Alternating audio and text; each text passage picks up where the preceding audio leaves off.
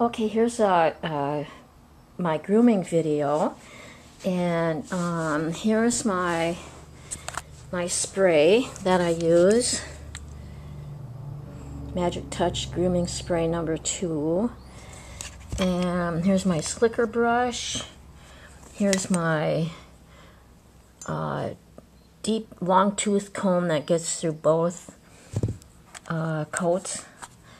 This one is very good for removing mats and making sure I have all the mats out. Uh, here's the Mars Coat King 8 blade. Here's the, is that the right-handed? Left-handed um, Safari. No, this one's the left-handed Safari. Right-handed Safari. Okay.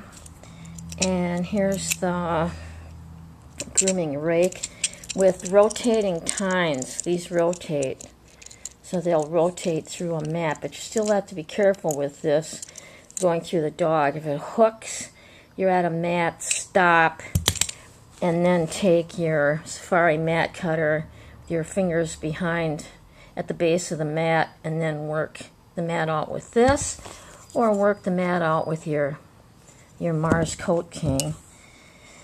And this is a pin brush for finishing up afterwards when you're all done. Then you do a pin brush.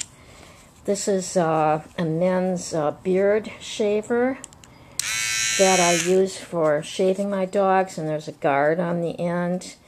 Um, this is for shaving around their their butt, just the butt end. I don't do too much because then they get a they, they get a funny look back there. You just want to get some of the hair off where uh, things get stuck.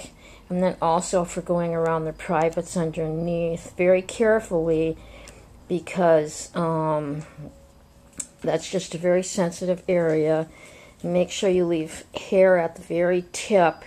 Don't be uh, cutting with this at the very tip and go very gently and lightly because even with the guard you can um, give them a razor burn or a shaver burn. And then I have my um, my cutters here for their toenails with a guard. There's a guard on here. So the nail won't I won't cut into the quick with the guard here Okay, now I'm to get Clem. Clem, come on. Are you hiding? Come on. Come. Come on. Come on.